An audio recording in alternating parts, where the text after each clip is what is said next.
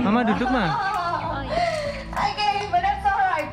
Let's focus to Bruno, the big one. We are going to show you Bruno behavior. He will try to catch the food. So please help me to count how many slices of fruit Bruno is able to catch today. Oke, Bapak Ibu semua tolong bantu saya menghitung ya berapa banyak Bruno mampu menangkap makanan. lihat sini anak. Ready, ready? Lihat sini adik, Okay, let's adik. Bruno, one, then two, next, three, good. And then four, Sudah. Yuk lihat itu, lihat itu. six, how is it? Last one please, six slices of Iya, fruit this pintar, morning. pintar. So Oke, Bruno was born here at the park as part of our successful breeding program. Thank you so much Bruno, bisa beri tepuk tangan untuk Bruno. Nah, burung selanjutnya kita akan burung air. Namanya adalah sabu, dia jenis bangau marabu. Nah, spesies ini memiliki kaki serta paruh yang panjang. Itu dikarenakan mereka mencari makanan di muara sungai ataupun rawa-rawa. Itu dia di belakang Anda. Kamu sabu? Oke.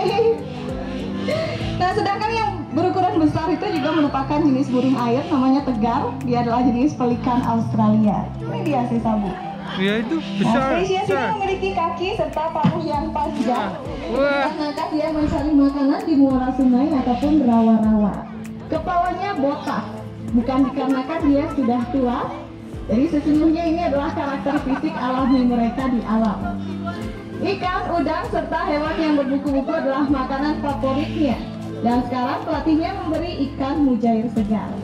Namun demikian, spesies ini juga suka memakan bangkai dan suka mencuri burung bangkai, eh, mencuri bangkai dari jenis burung bangkai Afrika. Dan ini adalah dia emang agak sedikit nakal. Jadi jenis pelikan Australia ini bisa bermigrasi dari Australia hingga ke Papua bahkan sampai ke Bali. Oke, thank you so much. Sabu, see you. Oke, perhatikanlah bangau mahkota Afrika. Asalnya tentu saja dari Afrika. Dan ini adalah bangau yang sangat romantis di mana mereka selalu bernyanyi dan menari ketika musim kawin tiba. Uniknya lagi, spesies ini hanya memiliki satu pasangan seumur hidupnya. Oke, sekarang kita akan tampilkan seekor burung cantik dari keluarga paruh bengkok. Mari kita sambut Gabriel. Dia adalah makau sayap hijau. Ini dia Gabriel. Dapat dijumpai di Wow, seluruh di Amerika. Namun Gabriel menetas di Bali Bird Park. Tentu saja dia adalah hasil dari program pengembang biakan kami yang berhasil. Gabriel sangat suka sekali terbang. Dan kami biasa memberinya waktu dua kali sehari untuk membentangkan sayap indahnya. Wih. Umumnya makau memiliki bentuk kepala bulat, badan langsing, ekor panjang bertumpuk, dan tentu saja warna bulu yang sangat mempesona.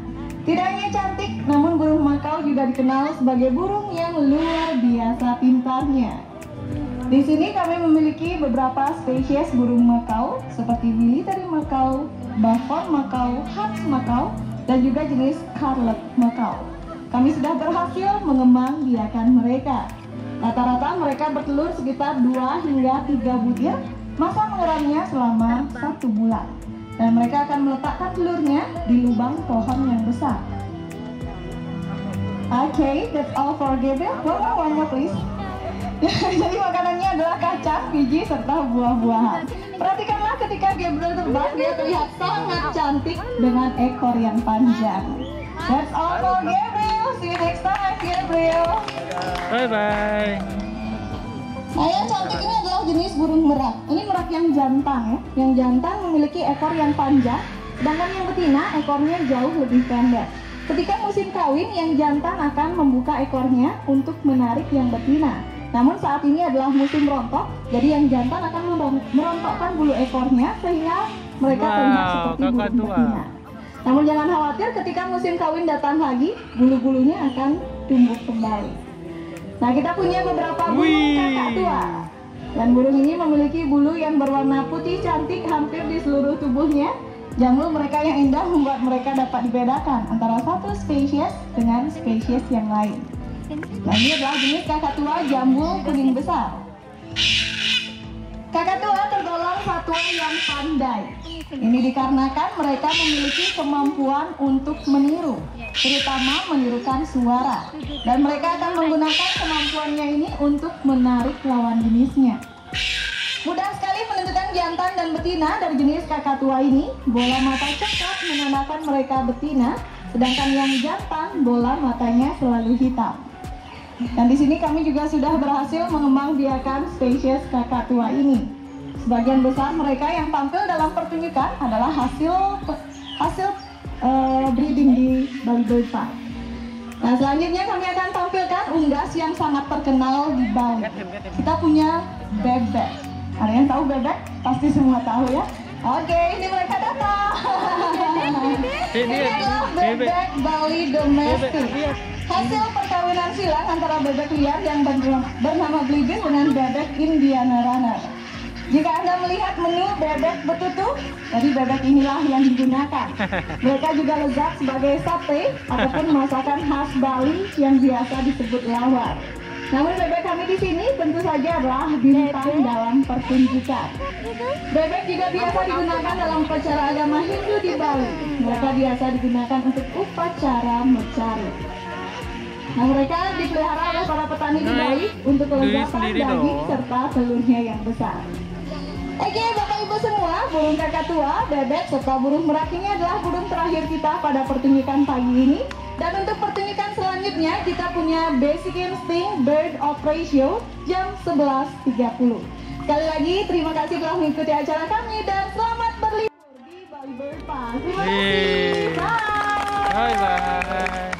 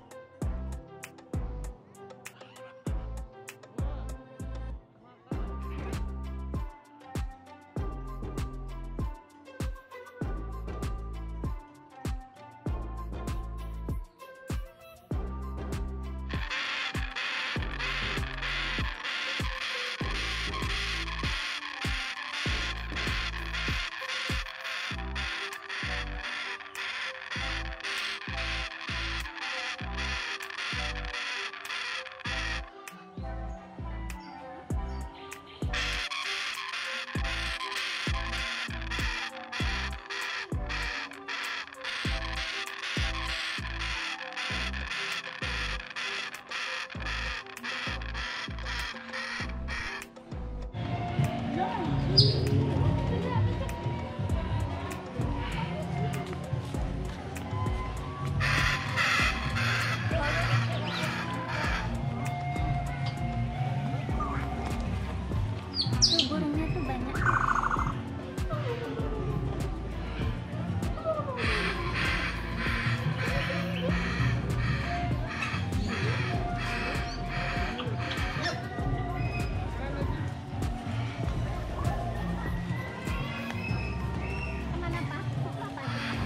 Itu.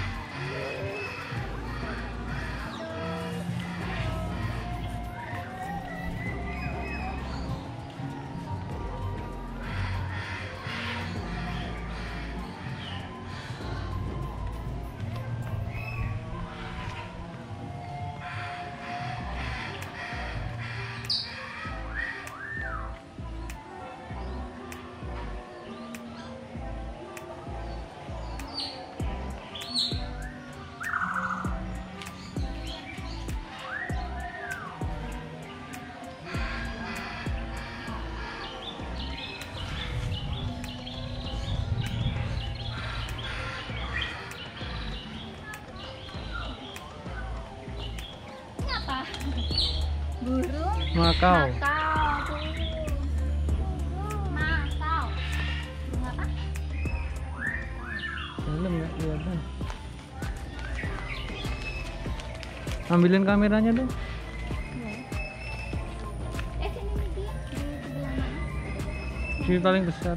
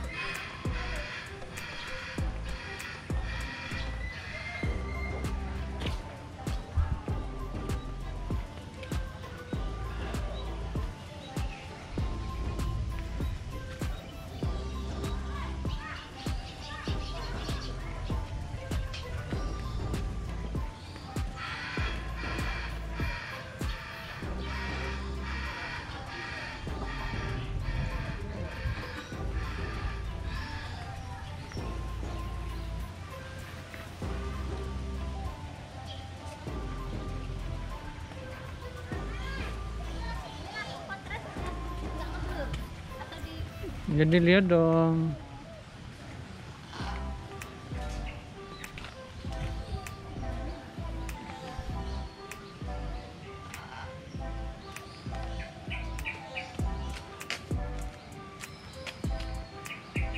Tuh ada burung deh. Burung apa itu ya? Ini ada namanya di sini. Crown hornbill.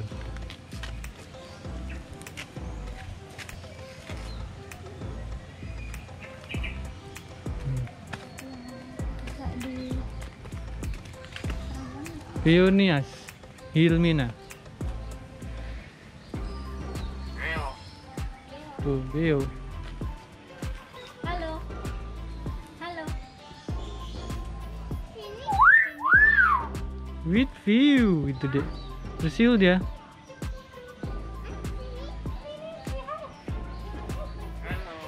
Lu kan dia bilang hello barusan.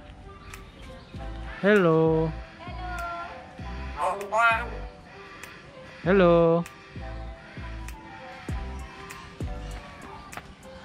Dia ngomong adek. Hello. Apa? Apa itu tadi?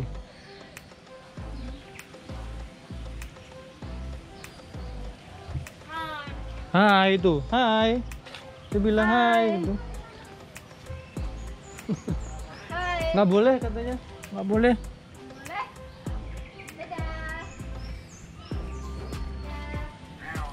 Ayo.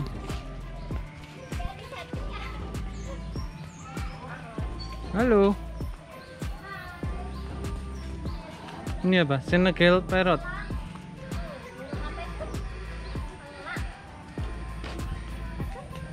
Ini udah difoto belum ah? mama nggak foto ya Enggak difoto yang punya jadi konten itu.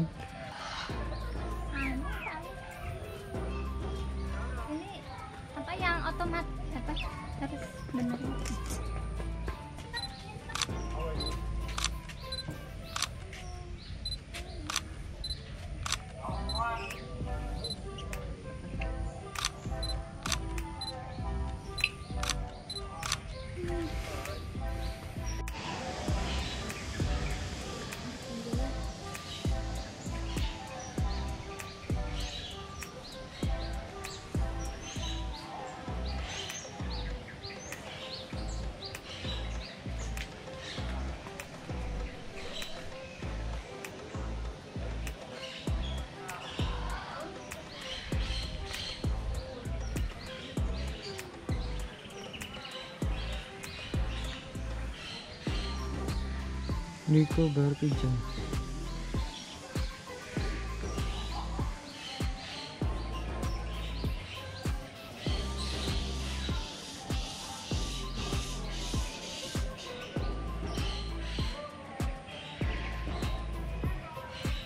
GoPro stop recording.